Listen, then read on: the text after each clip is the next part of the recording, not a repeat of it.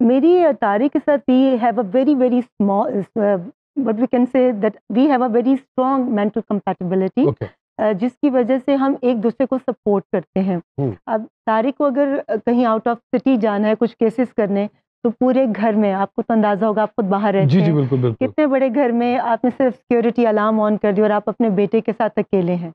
तो वो मैं कॉम्प्रोमाइज़ करती हूँ मैंने कभी कंप्लेन नहीं ओके इसी ओके। तरह वो समझते हैं कि अगर बेगम ने किसी काम के लिए जाना है और हम्म। वाकई ही सही काम के लिए जाना है तो उन्होंने कभी एतराज़ नहीं किया। वो बहुत सपोर्टिव है। मैं पूरी दुनिया में ट्रैवल करती हूँ। कभी उन्होंने मुझसे पलट कर नहीं कहा। जरा फेस टाइम करके बताएँ कि आप कहाँ बैठी हैं किसके साथ बैठी हैं। वाह वाह। कभी भी नहीं। सो आप वी समझ- नो आर लिमिट आप समझती हैं तारिक जी की लॉटरी निकली है या आपकी लॉटरी निकली आई स्वेयर दोनों दोनों की।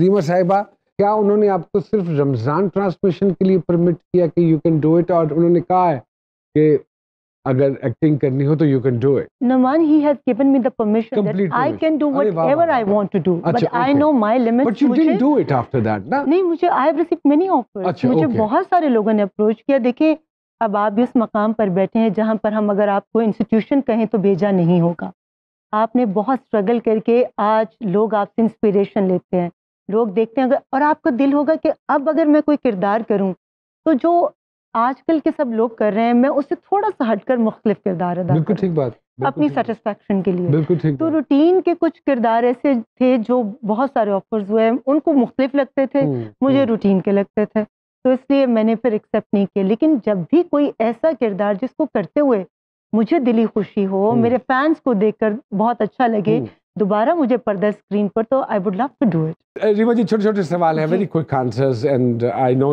आप अपनी मसरूफियत में से वक्त निकाल के आई हैं और डेफिनेटली मसरूफ दिन भी है। ईद का चाँद उनतीसवें रोज़े नज़र आ जाए और जोड़ा तैयार ना हो तो क्या रद्द अमल होता है आपका?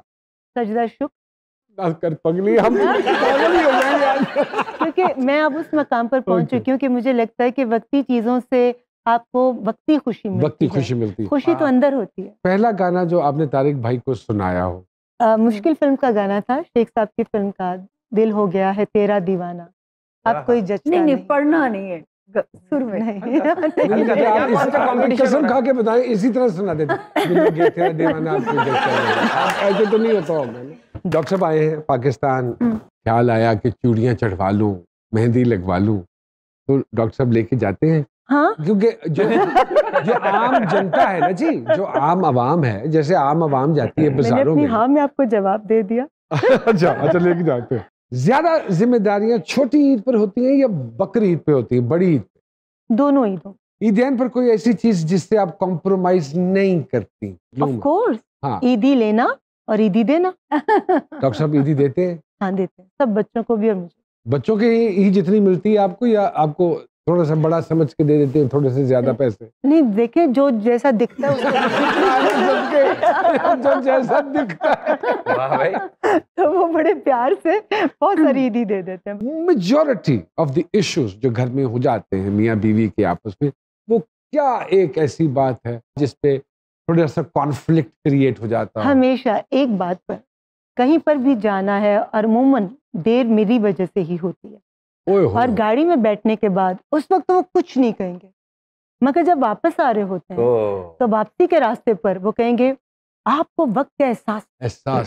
तो कहती जब हम टाइम पर बिल्कुल एग्जैक्ट टाइम पर पहुँच गए और बात खत्म हो गई इतनी अच्छी दावत हो गई अब ये टाइम नहीं है इस बात को करने का वो वापसी का रास्ता काट रहे होते हैं। मगर वो उन्होंने करनी ही करनी हाँ, मोस्टली हमारी इसी बात हु। इज़ मोर ऑर्गेनाइज्ड यू और डॉक्टर साहब। अच्छा इसमें अच्छा वो ज़्यादा ऑर्गेनाइज तारिक, ज़्यादा प्रॉपर आदमी। बहुत। अगर आपकी ज़िंदगी पे एक फ़िल्म बनाई जाए तो उस फ़िल्म का आपके ख्याल में रीमा जी क्या नाम होना चाहिए?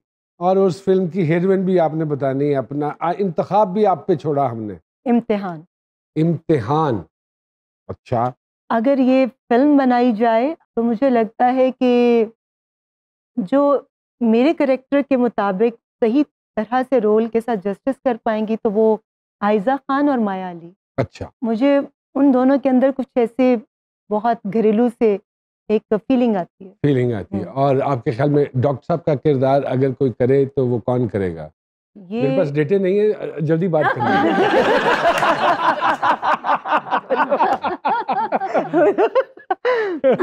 तारिक का किरदार एक नाम है लेकिन मैं ले नहीं सकती क्योंकि वो बहुत चोरी चकारी भी आँखों की करते हैं तो वो तारिक वैसे नहीं है। तो इसलिए मेरे ख्याल में ये रोल जो है वो बाद में बताऊँगा आपको। तारिक भाई को सबसे महँगा तोहफा जो आज तक आपने दिया हो जी। सबसे महँगा तोहफा उनको मैंने दिया है मोहब्बत। वाह वाह वाह वाह वाह अरे यार यार ये किताब जब मुकम्मल हो जाए ना तो मुझे बताइएगा मैं कुछ अदाकारों के नाम लूँगा। क्या कहना चाहेंगी इनके हवाले से? माहिरा खान साहिबा सुपरस्टार आयशा उमर साहिबा। खूबसूरत। महविश हयात साहिबा टैलेंटेड कुबरा खान साहिबा एक्सट्रीमली टैलेंटेड ਬਸ ਫਿਰ ਸਾਰਿਆਂ ਨਾਲ ਇਹੀ ਲੱਗਣਾ ਤੇ ਫਿਰ ਇਹਨੇ ਨਾਲ ਜ਼ਰੂਰਤ ਹੀ नहीं है ਉਹਨਾਂ ਨੇ ਕਿਸੇ ਨੂੰ ਕਹਿਣਾ ही नहीं कि या तो आप सिर्फ नाम ले दें पता तो चल ही गया नहीं कहना ही नहीं उन्होंने किसी को गलत नहीं आप क्या सुनना नहीं चाहते नहीं मैं कुछ नहीं कोई कॉम्प्लीमेंट जो आपको अक्सर मिलता हो हैं? आपके बाल बहुत अच्छे हैं आपके बाल बहुत अच्छे हैं और स्किन मुझे भी यही मिलता और स्किन भावताव करवाती हैं। मुझे बहुत अच्छा लगता है। बार्गेन करना चाहिए। तो गोरे के साथ भी जाके भावताव करते हैं नहीं वहाँ प्राइसेस फिक्स तस्वीर बनवाते हुए किस चीज़ के हवाले से ज़्यादा कॉन्शियस होती हैं आप?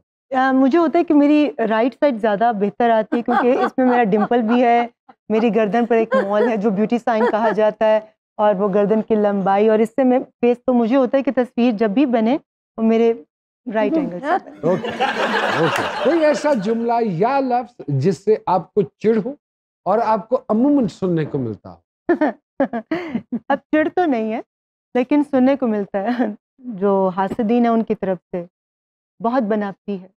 हाँ, बहुत बनावट करके बोलती है। तो मुझे लगता है कि अगर सुलझे तरीके से बात करना धीमे अंदाज से बात करना दूसरों को इज़्ज़त देना दूसरों के लिए नेगेटिव कमेंट ना देना अगर ये बनावट के जुमरे में आते हैं तो तो है। बिल्कुल ठीक। कोई ऐसी चीज़ जो अक्सर मिसप्लेस कर देती हो? चाबी। चाबियाँ गाड़ी की चाबियाँ हम्म, घर की घर की चाबियाँ तिजोरी जो मेरा मेकअप रूम है जो ज्वेलरी रूम है जिसमें बैग्स रखे हुए हैं। दोस्त अहबाब या घर वाले आपकी किसी एक आदत से डेफिनेटली नाला होंगे वो क्या है? घर वाले अगर नाला हैं मेरी किसी एक आदत से मेरी तवील तस्बीह करने से। सब हो। घर वाले भी मियाँ भी। अच्छा? मैंने उनके हाथ में भी एक एक तस्वीर पकड़ा था।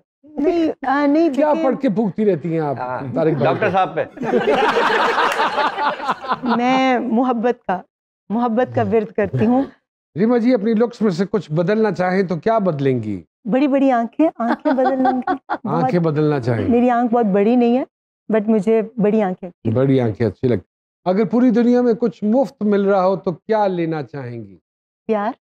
आज का कोई ऐसा फ़ैशन जिससे आपको सख्त चिढ़ है? जो बहुत ज़्यादा आम पब्लिक प्लेसेस पर भी किनको शो ऑफ़ किया जाता है। ओके। अगर आप एक ब्रांड हो तो इसका स्लोगन क्या होगा? पायदार और खूबसूरत।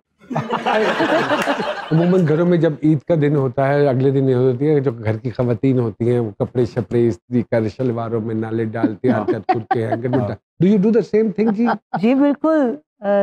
जारबन जो है ईद के कपड़ों में तारिक के मैं मैं ही शलवार के अंदर डालती हूँ परफेक्ट तरीके से। परफेक्ट वाह वाह। सिल्की बाल हैं।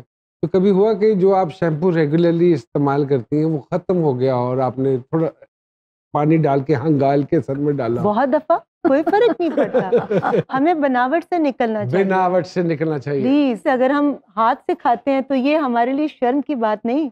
ये हमें फख्र होना चाहिए इस बात पर। मेरी 99.9 परसेंट कोशिश होती है कि मैं हाथ से खाना वाह वाह। और फिर उसके बाद जायका भी चखूं वाह वाह वाह। टमाटर महँगे हो गए हैं। मैं टमाटर नहीं खाती।